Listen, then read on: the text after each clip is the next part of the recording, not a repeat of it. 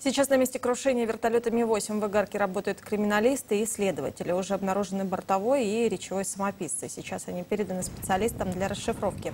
Назначен целый ряд других экспертиз. Изучаются сведения о профессиональной подготовке членов экипажа и техническая документация на вертолет. Возбуждено уголовное дело по статье «Нарушение правил безопасности движения и эксплуатации воздушного транспорта, повлекшее по неосторожности смерть двух и более лиц».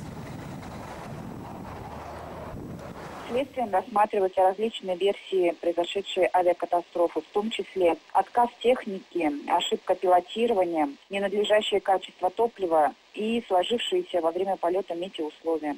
Расследование уголовного дела продолжается.